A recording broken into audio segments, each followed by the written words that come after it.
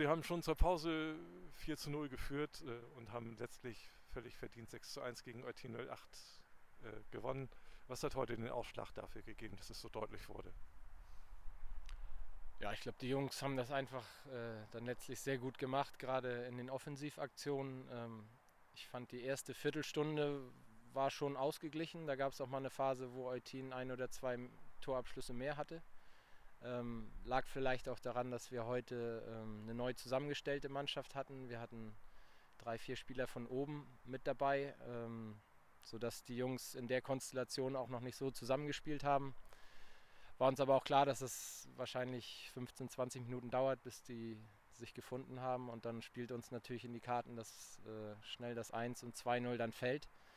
Ähm, und dann haben die Jungs aber auch wirklich gute Qualität gezeigt. Also das ist nicht jeden Tag, dass es dann auch so komprimiert dann in ein Spiel kommt, aber äh, letztlich war es auch irgendwo ein Arbeitssieg. Gegen einen unmittelbaren Gegner 6-1 gewinnt, dann liegt die Frage nahe, ob denn jetzt die Aufstiegsrunde das erklärte Ziel der Mannschaft ist. Also wir haben vor der Saison gesagt und das bleibt auch so, dass das absolut Wichtigste ist für uns der Klassenerhalt, dass wir in dieser Liga bleiben.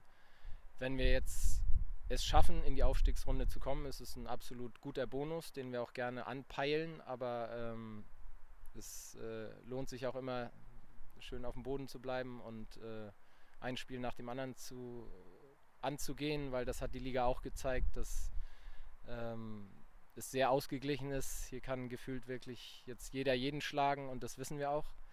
Und äh, darauf baut auch unsere Arbeit auf, dass wir einfach als erstes hart arbeiten und kämpfen müssen und wenn es dann mal läuft, dann haben die Jungs heute gezeigt, was auch spielerisch in ihnen steckt.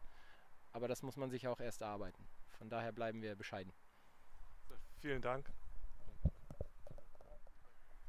Dennis Jax, äh, hast du gehofft, dass das Spiel zur Halbzeit vorbei ist?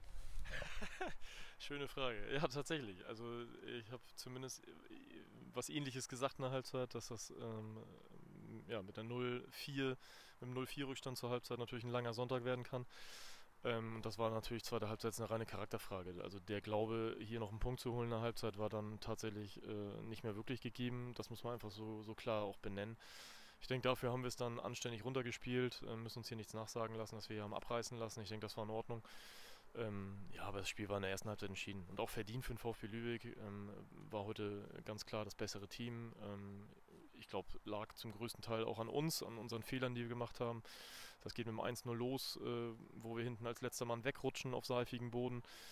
Ähm, und zieht sich dann so durch mit den weiteren Toren, wo Bälle unterlaufen werden. Ähm, ja, ich glaube, die, äh, ja, es war einfach ein gebrauchter Tag ähm, von 1 bis 11, äh, fast ohne Ausnahmen, ähm, die, wo wir einfach alle nicht an unsere Normalform rangekommen sind.